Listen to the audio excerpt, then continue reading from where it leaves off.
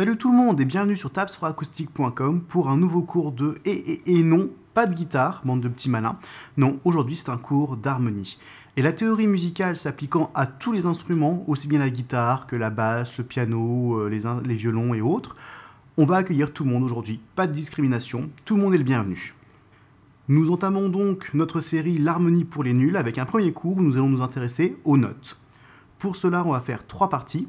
Une première partie où nous allons voir les bases de ce système musical. Une deuxième partie où nous allons voir les altérations qui vont nous permettre d'étendre un peu ce système musical.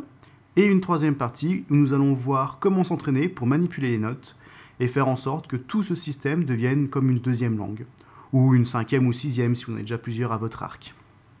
Je vous vois donc tout de suite dans la première partie pour attaquer tout ça.